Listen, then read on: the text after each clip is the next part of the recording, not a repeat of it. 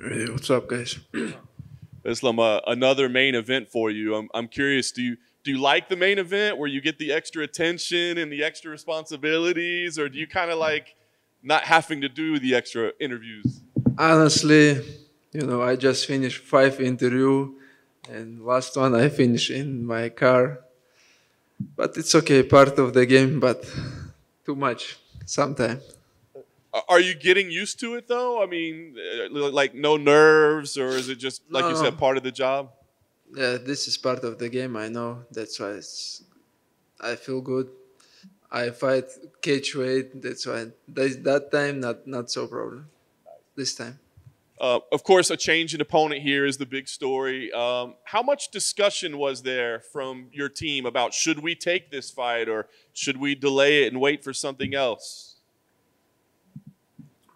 Honestly, when uh, Beneil is injured, I told Ali find someone from top ten, and he say he told me next day like nobody give you nobody give me answer, and I think it's not gonna be happen. But when uh, and Ali say just Bobby Green give answer, he say he ready for.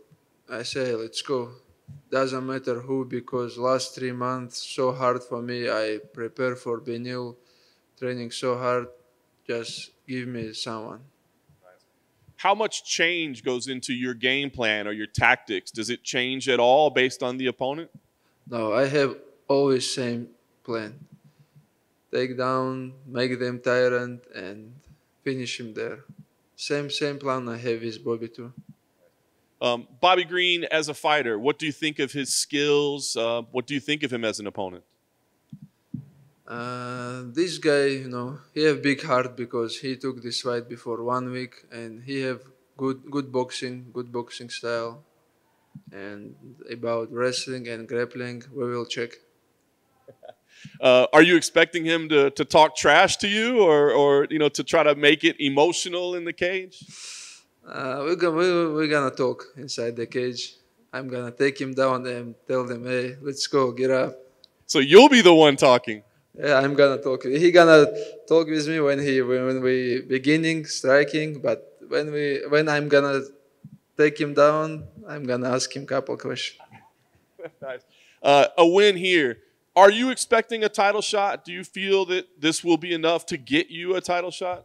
Of course, because it's gonna be my 10 fight win streak. I really believe this is key for the title fight, and I I think is Oliveira gonna beat uh, Justin Gaethje and 11 win streak versus 10 win streak. This is gonna be big fight for all MMA fans.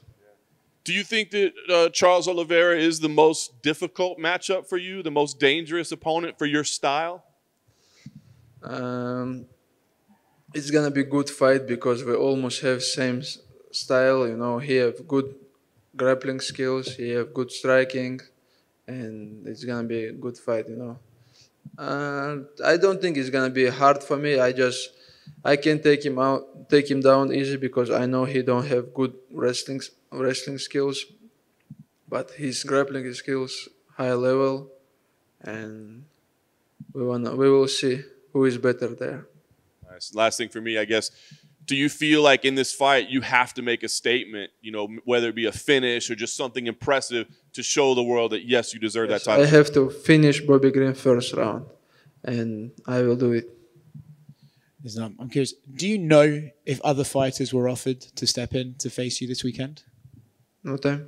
Do you know if there were other fighters who were offered to fight you this weekend, Uh, or was it just Bobby? They they, they ask uh, RDA, Tony, and Gillespie. They all say no. I- Ali told me this, but I don't want to say they scare or something like that because this is just one week before the fight. But I have always same problem for find someone. When someone like Bobby does step in this close to the fight, do you automatically have a new level of respect for them? Yeah, I have to respect him because he's make this happen and he wanna make some money. I just, I just wanna help him a little bit. It's very generous of you. Uh, you said you picked Oliveira to beat Gaethje. I'm curious, what exactly do you see that makes him win that fight. Can you repeat? Why do you think Charles Oliveira beats Justin Gaethje? Uh, I think he's gonna finish him. I think he's gonna striking with him like first round, and after he gonna take him down. I think he's gonna choke him. Thank you. Just one. Mo- most people see your fight style as being very dominant. The fact that you don't have to cut that extra five pounds, are we going to see an even more dominant version of you out there? Uh, I don't know. I follow same program, same diet program, but last days I cut like five pound, four pound. It's I think that just last days is gonna be easy for me. We'll see. I never fight in catch weight, but I think I enjoy, you know, because I don't have to make 156. But next fight, I'm ready to make 155, you know. So since this is a little different and this is a catch weight, is this week feel a little bit more exciting because it's a little bit different? You have a Yeah, this short is notice. like when you cut 156, like you know, more pressure, you cannot enjoy. But now I feel much better. Awesome. Best of luck. Thank you. Thank you. Thank you, guys.